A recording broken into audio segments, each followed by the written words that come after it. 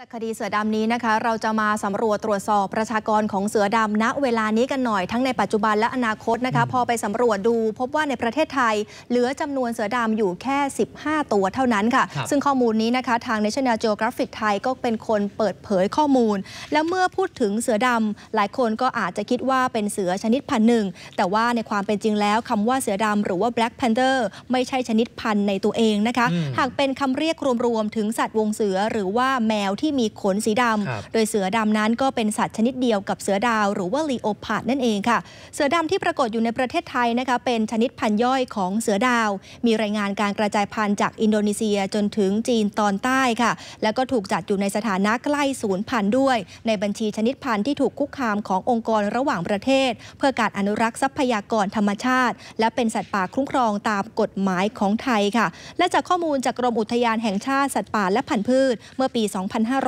2561 ระบุว่าไปสำรวจพบเสือโคร่งในป่าประมาณ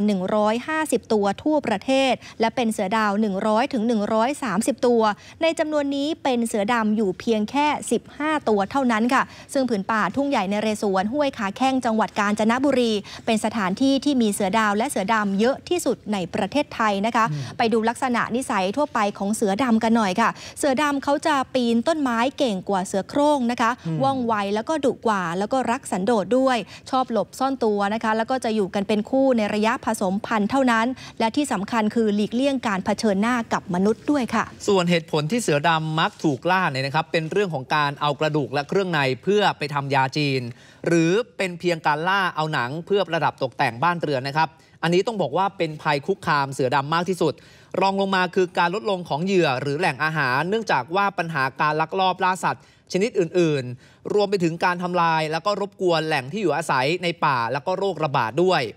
ส่วนของการอนุรักษ์นะครับ นอกจากประกาศให้เป็นสัตว์ป่าคุ้มครองตามกฎหมายแล้ว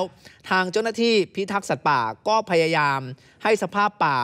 ที่อยู่อาศัยของเสือดำเนี่ยมีความอุดมสมบูรณ์มากขึ้น ซึ่งจะส่งผลให้จำนวนเสือดำเพิ่มขึ้นในอนาคตนะครับ หลังจากคดีการล่าเสือดำที่โด่งดังในตอนนี้ ความเห็นของผู้คนในสังคม ที่มีต่อคำพิพากษาคดีนี้อาจมีความเห็นที่แตกต่างกัน บางคนก็มองนะครับว่าเป็นคำตัดสินที่เหมาะสมแล้ว หรือบางคนอาจมองว่าไม่สามารถเทียบเท่าได้กับการที่ต้องเสียเสือดำ หนึ่งตัวไป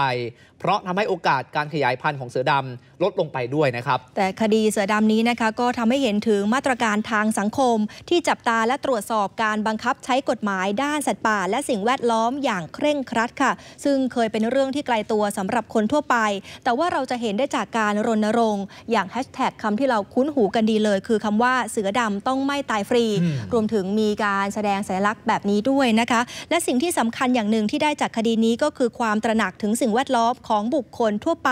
ที่ก่อนหน้านี้ก็เป็นเรื่องที่ไกลตัว มีเจ้าหน้าที่ผู้ทำงานด้านนี้เพียงน้อยนิด แล้วก็สังคมเนี่ยยังไม่ค่อยนึกถึงเท่าไหร่ แต่พอมาถึงวันนี้ทุกคนได้เห็นบทบาท และความสำคัญในการทำงานของพวกเขาเพิ่มมากขึ้น รวมไปถึงสำนึกรักธรรมชาติ ของบุคคลทั่วไปที่เผื่อแผ่ไปยังสิ่งแวดล้อม และสัตว์ที่ใกล้จะสูญพันธุ์ชนิดอื่น ๆ ด้วยค่ะ ซึ่งก็นอกจากเสือดำนะคะ จนเรื่องนี้ก็ได้กลายเป็นฉันทามติร่วมของทุกคนในสังคมในที่สุดค่ะ แม้ว่าเสือดำที่ตายไปแล้วอาจจะไม่ฟื้นคืนมา แต่จิตใจที่ต้องการอนุรักษ์สิ่งแวดล้อมของสังคมไทย ก็ได้ถูกปลุกขึ้นมาแล้วค่ะครับ